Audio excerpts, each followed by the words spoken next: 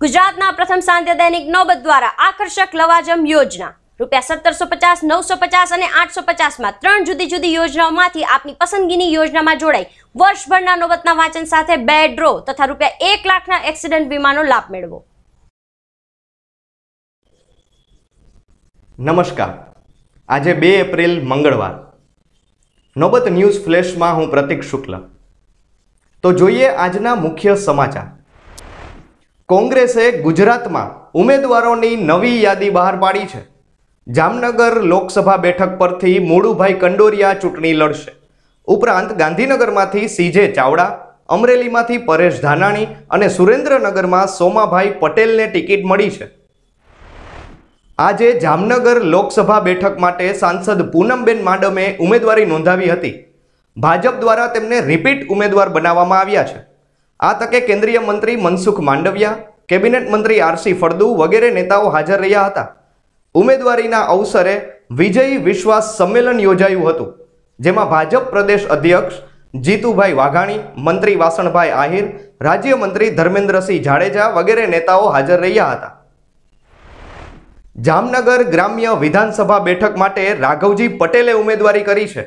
આ તકે રાજ્યમંત્રી ધર્મેન્દ્રસિંહ જાડેજા અને પૂર્વ મંત્રી મુળુભાઈ બેરા હાજર રહ્યા હતા. પક્ષ પલટો કરી ભાજપમાં આવેલા રાઘવજીભાઈ આ બેઠક પરથી ગત ચૂંટણી હારી ગયા હતા.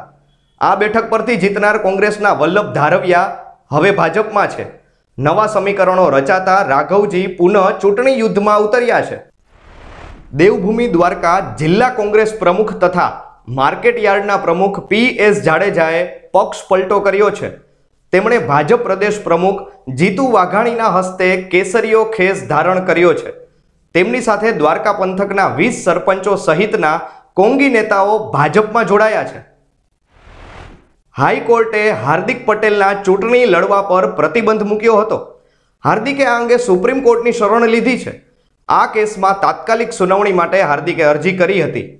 સુપ્રીમ કોર્ટે આ અરજી રદ કરી છે. એટલે હાર્દિક આ લોકસભા ચૂંટણી લડી શકશે નહીં. ઉલ્લેખનીય છે કે હાર્દિક જામનગર બેઠક પરથી ચૂંટણી લડવાના હતા. જામનગરમાં આજે મહત્તમ તાપમાન આડત્રીસ ડિગ્રી નોંધાયું હતું. તાપમાનમાં એક જ દિવસમાં ત્રણ ડિગ્રીનો વધારો થયો છે. ગરમીને કારણે નગરજનો અકળાઈ રહ્યા છે. હવામાન ખાતાએ હજુ પાંચ દિવસ હીટ વેવની આગાહી કરી છે. તો આ હતા આજના મુખ્ય સમાચાર. ફરી મળીશું. જય હિન્દ, જય હાલાર.